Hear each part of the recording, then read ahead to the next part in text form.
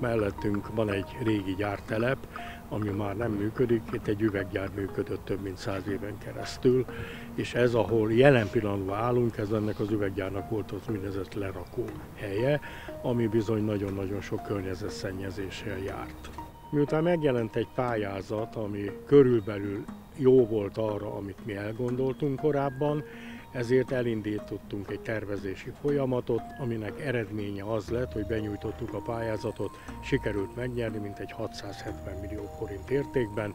Ennek a beruházásnak egy nagyon lényeges része, hogy megszűnt ez a környezetszennyezés, ami úgy történt, hogy több rétegű agyaggal leterítették, ez egy vízzáró agyagréteg, majd erre termőföld került, és a termőföld ugye befüvesítése került, illetve zöld terület lesz fákkal, bokrokkal, cserjékkel. Tehát megszűnt a környezetszennyezés.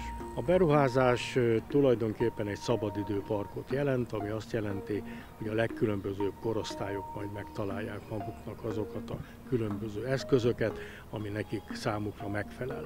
Ez alatt értem azt, hogy a kicsiknek lesz játszótér, lehet látni itt mellettünk, a nagyobbaknak nyilván olyan sporteszközök, ami már nem a játszótér kategóriája.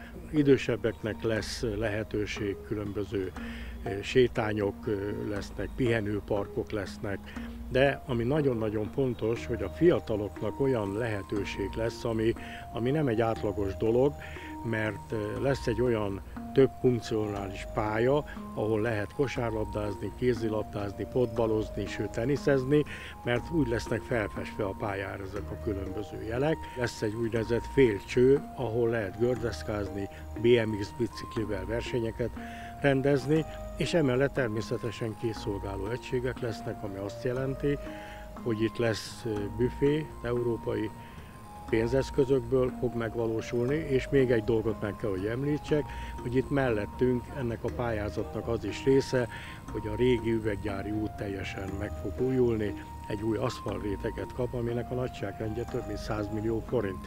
Tehát Sajó-Szentpéter önkormányzata saját eszközből ezt soha nem tudta volna megvalósítani.